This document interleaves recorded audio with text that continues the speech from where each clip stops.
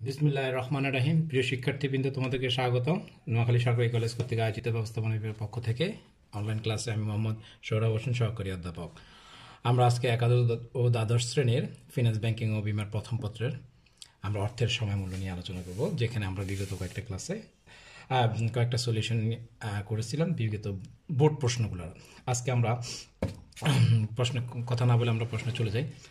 আজকে আমরা সম্মিলিত ঢাকা সম্মিলিত ভোট একটা প্রশ্ন করব দুই হাজার আঠারো সালের। যেখানে বলা হয়েছে, আমরা প্রশ্নটা একটু পড়ি আগে। জনাব আমিরুল সাহেব অবসর ভাতা বাবদ দুই লক্ষ টাকা পেলেন। উক্ত টাকা তিনি পাঁচ বছরের জন্য পদ্মা ব্যাংক লিমিটেডে জমা রাখলে পদ্মা ব্যাংক লিমিটেড তাকে তিন লক্ষ সত্তর হাজার টাকা দেওয়ার প্রস্তাব করে। অন্যদিকে রূপসা ব্যাংক লিমিটেড আট বছরের জন্য রাখলে রূপসা ব্যাংক লিমিটেড তাকে পাঁচ লক্ষ টাকা দেওয়ার প্রস্তাব করে। এখন আমরা উদ্দীপকের প্রশ্নে চলে যাই। আমরা বিষয়বস্তুটা বুঝি, বর্তমানে তিনি অবসর গ্রহণ করতেছেন। অবসর গ্রহণ করলে তাকে দুই লক্ষ টাকা দেওয়া হবে। মানে দুই লক্ষ টাকা উনি পেলেন, পেয়ে গেছেন আর কি। উক্ত টাকা উনি কী করবেন? পাঁচ বছরের জন্য পদ্মা ব্যাংকে রাখতে চাচ্ছেন। যদি পদ্মা ব্যাংকে রাখেন পাঁচ বছরের জন্য, তাহলে তাকে তিন লক্ষ সত্তর হাজার টাকা দিবে আফটার ফাইভ ইয়ার্স তার মানে পাঁচ বছর পর। এটা হচ্ছে তারা আমাদেরকে আগে বের করতে হবে, এটা হচ্ছে বর্তমান মূল্য, এটা হচ্ছে ভবিষ্যৎ মূল্য। অন্যদিকে যদি উনি রূপ রূপসা ব্যাংকে রাখেন, আট বছরের জন্য, এখানে সময়টা একটু চেঞ্জ আগেটা ছিল পাঁচ বছর, এখানে হবে আট বছর। রূপসা ব্যাংকে রাখেন এবং রূপসা ব্যাংক লিমিটেড তাকে আট বছর পরে পাঁচ লক্ষ টাকা দেওয়া, প্রস্তাব করে। আচ্ছা এখন মূল প্রশ্নটা হচ্ছে এখানে উদ্দীপকের আগে পদ্মা ব্যাংক লিমিটেড সুদের হার কত? আমরা এখানে একটা ভিন্ন জিনিস বের করব। এতদিন অনেক কিছু বের করছি। এক পদ্ধতি আমরা বের করছিলাম ভবিষ্যৎ মূল্য, বর্তমান মূল্য, তারপরে কিস্তির পরিমাণ। আজকে আমরা দেখব সুদের হারটা। অর্থাৎ যদি উনি তিন লক্ষ সত্তর হাজার টাকা পেয়ে থাকেন, দুই লক্ষ টাকা জমা দিয়ে, তাহলে ওনাকে ব্যাংক কত পার্সেন্ট ইন্টারেস্টে ওনাকে এই টাকাটা দিচ্ছেন সেটা আমাদের আজকে জানব। তাহলে এটা এই ইয়াটা খুবই সোজা। আমরা চলে যাই অঙ্কে। আমাদের পঁচিশ নম্বর ঘ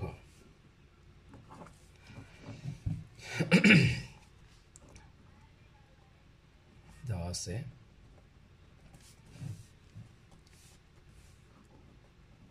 প্রেজেন্ট ভ্যালু দুই লক্ষ টাকা ফিউচার ভ্যালু তিন লক্ষ সত্তর হাজার টাকা তারপর হচ্ছে গিয়ে, এখানে হচ্ছে গিয়ে এন সমান যদি আমরা সরি এন তো পাঁচ। আই সমান সমান বাট এই হচ্ছে আমাদের প্রশ্নের রিকোয়ারমেন্ট দেওয়া যেটা আছে, তাহলে আমরা অঙ্ক শুরু করতে পারি। এটা দিয়ে আমরা শুরু করব।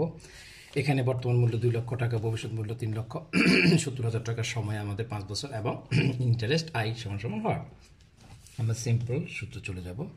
এখানে ফিউচার ভ্যালু সমান প্রেজেন্ট ভ্যালু আমরা জানি ইন্টু ওয়ান প্লাস আই অথবা আর আমরা যেটা দিচ্ছে ব্যবহার করতে পারি number of N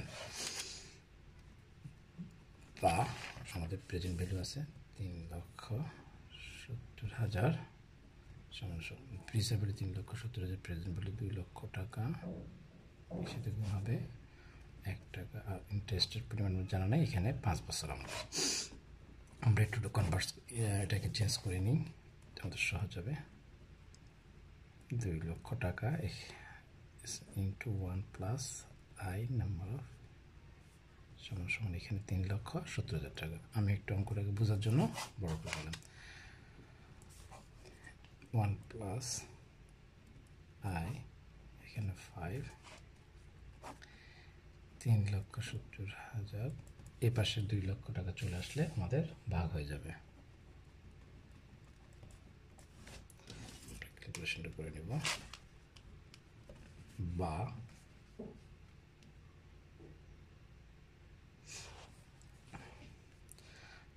one plus I ভাগ করলে আমাদের আসে এক দশমিক এগারো।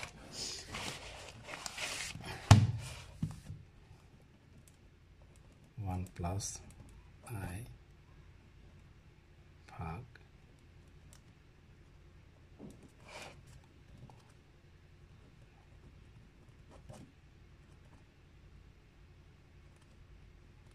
উভয় পক্ষকে আমরা উভয় পক্ষের পাওয়ারকে আমরা ওয়ান বাই ফাইভ দ্বারা গুণ করলাম। সেক্ষেত্রে আমাদের থাকবে ওয়ান প্লাস আই সমান সমান, এটার মানটা বের করে নিতে হবে। One point eight five power one by half one by half হচ্ছে ওয়ান বাই ফাইভ এটা হচ্ছে এটা কীভাবে দেওয়া হচ্ছে? পয়েন্ট এখানে দেবো। ক্যালকুলেট করে দিয়ে দেবো। ওয়ান বাই অর্থাৎ ইয়ে করে ফেলি। ওয়ান বাই ফাইভ সমান পয়েন্ট টু তাহলে one by five point two আসে। সেটা করে ফেলি আমরা। One point eight five power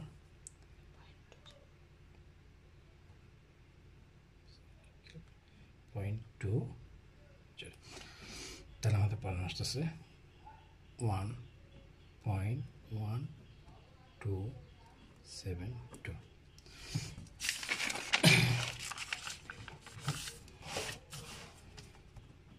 বা আমরা যদি আইটাকে এখানে রাখি, তাহলে ওয়ানটা এখান থেকে বা মাইনাস হবে। তাহলে আমাদের আসতেছে one point one two seven two minus one বা আইটা যদি এখানে থাকল, তাহলে আমাদের ওয়ান মাইনাস হলে থাকে point one two seven two বা আমরা এটাকে ইন্টারেস্ট যেহেতু এটাকে পার্সেন্টেজে নিয়ে যাব পার্সেন্টেজে নিয়ে বারো দশমিক সেভেন টু পার্সেন্ট তাহলে সুদের হার হচ্ছে, তাহলে আমরা পেয়ে গেলাম আমাদের প্রথম যে চাই রিকোয়ারমেন্ট সেখানে আমাদের বলা হয়েছে সুদের হার আমাদের বারো দশমিক বাহাত্তর পার্সেন্ট এরপরে রিকোয়ারমেন্টটা যদি আমরা চলে যাই, সেখানে বলা হচ্ছে যদি আট বছরে পাঁচ লক্ষ টাকা পায়, সেক্ষেত্রে আমাদের সুদের হার কত হবে? সেক্ষেত্রে আমাদের সুদের হার কত হবে জানতে চাইছে। সেক্ষেত্রে আমরা তাহলে চলে যাই। এখানে দেওয়া আছে। এটা আমাদের ঘ নম্বর অঙ্ক। দেওয়া আছে, এখানে ফিউচার ভ্যালু আছে আমাদের পাঁচ লক্ষ টাকা। আর প্রেজেন্ট ভ্যালু আগে দুই লক্ষ টাকাই থাকবে। আর অ্যান হচ্ছে কি এখানে চেঞ্জ হবে আট বছর। আর আই সমান সমান আট। তাহলে আমরা আবার চলে যেতে পারি ফিউচার ভ্যালু সমান সমান PV one plus i number of n বা প্রেজেন্ট ভ্যালু আমাদের এখানে পাঁচ লক্ষ টাকা। সেমভাবে আমরা চলে যাব আগেরটা যেভাবে ক্যালকুলেশন করছি। আমরা এটাও সে একইভাবে ক্যালকুলেশন করব। দুই লক্ষ টাকা one plus I number of এখানে পাওয়ার এইট দিলাম। বা আমরা এটাকে সাইড চেঞ্জ করে নিই। ওয়ান প্লাস আই আট এরপর এখানে পাঁচ লক্ষ টাকা নিলাম। বা যদি এটাকে আমরা করি one plus I power eight সমান সমান ভাগ দুই লক্ষ, আমরা করলে পাই two point one plus I power eight divide by আমরা পাচ্ছি টু পয়েন্ট ফাইভ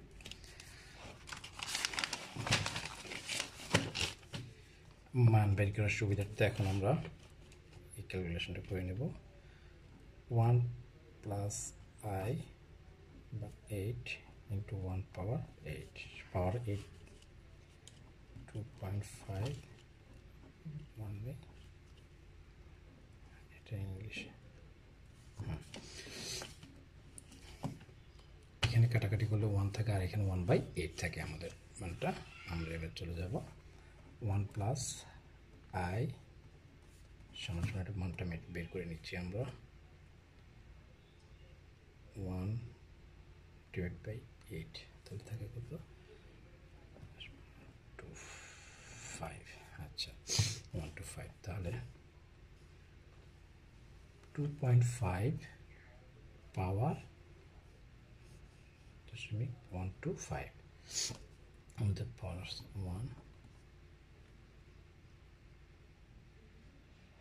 কাছাকাছি চোদ্দ পার্সেন্ট টু ওয়ান থ্রি বা আমাদের আই সমান সমান ওয়ান দশমিক ওয়ান থ্রি মাইনাস